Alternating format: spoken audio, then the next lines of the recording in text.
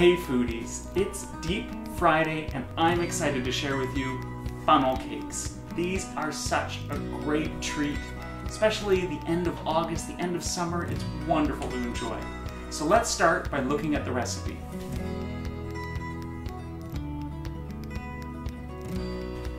And you want to start by adding all of your dry ingredients together and whisking them together. So we're going to put our flour, our baking powder, a little bit of sugar, and some salt.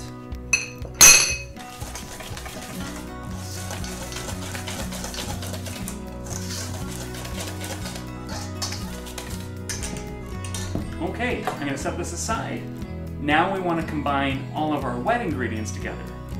The milk, water, vanilla, and our two eggs. I'm to crack my eggs into a separate bowl so that if I see any shells, I can pull them out before they go in.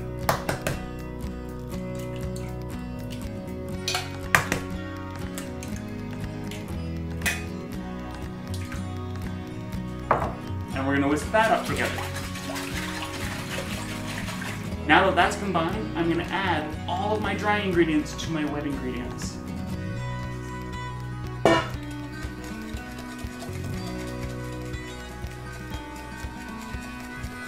And look at that. That's our funnel cake recipe. That's it all put together. Next, we're going to start deep frying it. So I've got my oil here preheated between 350 and 375 degrees Fahrenheit. And then you want to just slowly pipe this in in a mixed pattern formation. And you just let it cook.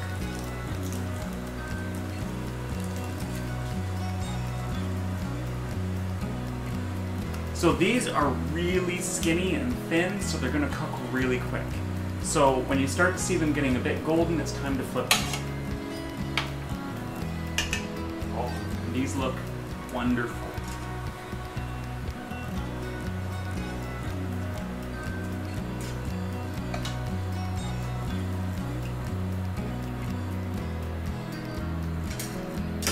So that's the first one done. Let's get a couple more done.